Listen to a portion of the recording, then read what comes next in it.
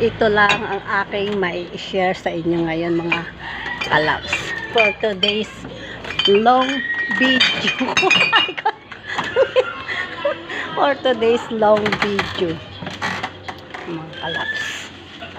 Ito yung aking dito ako sa terrace namin. Pag, ma- pag ano, masarap dito magmuni-muni sa aming terrace. Ayan, dito kami palagi. Dito ako pag, pag gusto ko mapag-isa, andito lang ako mga kalab sa aming terrace. Alam nga naman sa ibang terrace, di ba? Oh. Dito kami, taas. Taas itong aming lugar eh. Ganda ng, ganda ng bidol. Makita. Kasi makita eh. Hanggang dito na lang ang aking long video.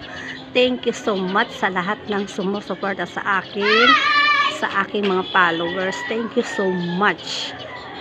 God bless us all. Bye-bye.